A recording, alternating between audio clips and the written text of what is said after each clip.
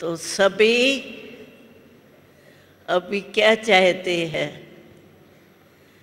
बाबा हम बच्चों से यही चाहता है कि मेरा एक एक बच्चा कर्मातीत अवस्था के नज़दीक आ जाए। तो हम सभी भी कर्मातीत का अर्थ ही है। अतीत हो जाएँगे, फिर तो चले जाएँगे। लेकिन अभी कर्मातीत का अर्थ ये है कि कर्म के बंधन से मुक्त हो जाए।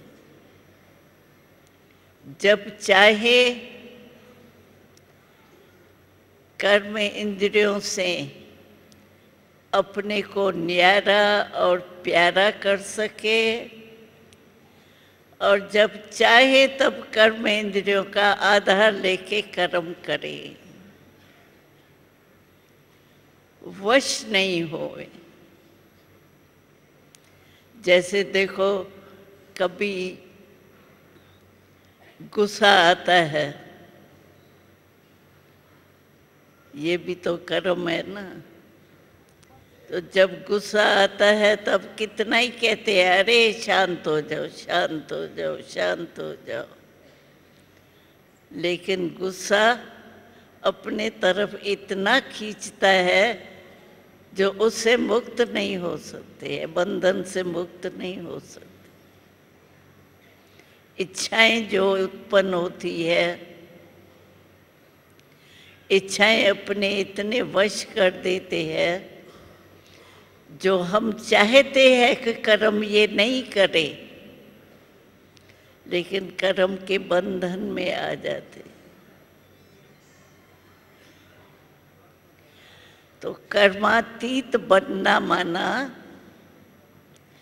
कर्म के बंधन में नहीं आए।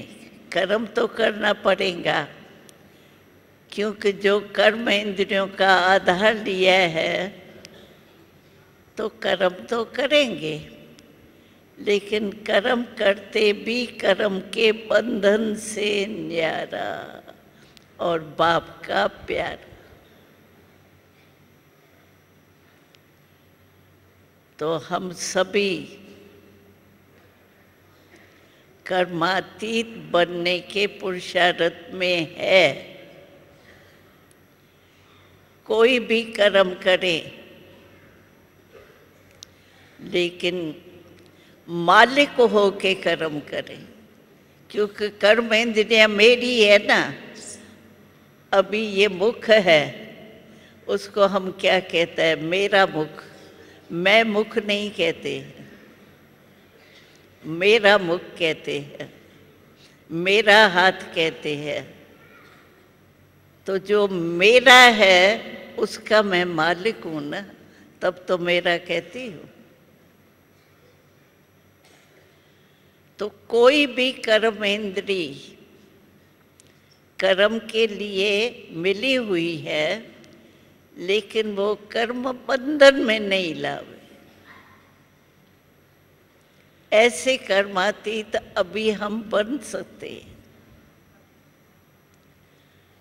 लेकिन कर्म के पहले आधार जो है, पहले संकल्प चलता है। ये करो, ये नहीं करो, संकल्प आता है। और संकल्प उत्पन्न कौन करता है? मन। मन में ही संकल्प उत्पन्न होते तो कर्मातीत बनने के लिए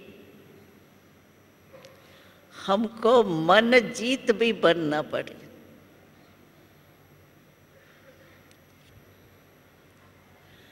तो मन मेरा है। अगर मन मेरा है तो मैं जो संकल्प करने चाहूँ, वो कर सकती।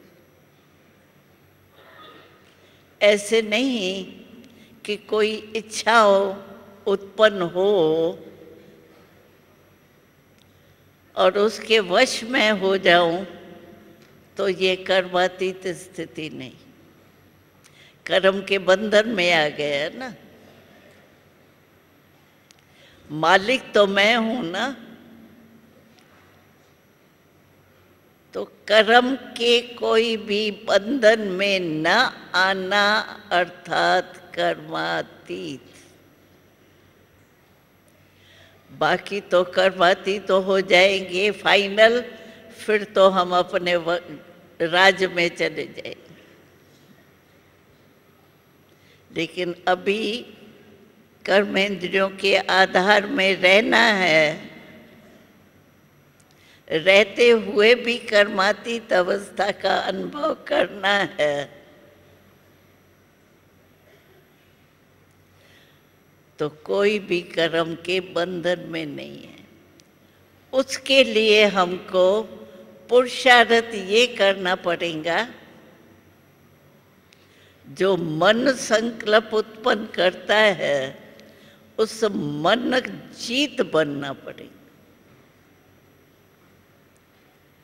जो संकल्प चाहू, वो कर सकती हूँ।